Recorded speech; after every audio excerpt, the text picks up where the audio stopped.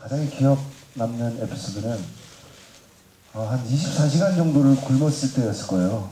달걀 세 개를 저희가 24시간 굶다가 어디서 그 산에서 이제 죽었어요. 네, 죽었는데 도하기 전에 그 있잖아요 병아리 그게 나오더라고요.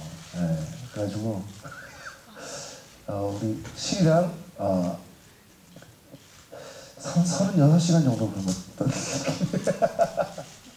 진짜로 진짜로 제가 처음부터 끝까지 계속 지내면서 다 기억이 남아요. 너무 재밌었는데 특히 이제 이번 편이 with friends잖아요. 그래서 그 바로랑 같이 둘이 생존했을 때 그때가 가장 기억이 좀 많이 남는데 바로랑 저랑 계속 굶고 있다가 그 설마 설마 잡힐까 해서 이렇게 설치해 놓은 코코넛 코코넛 트랩에 이제 거기 크랩이 잡힌 거예요. 그래서 그때가 가장 예, 너무 맛있었고 예, 너무 행복했던 것 같아요. 그때.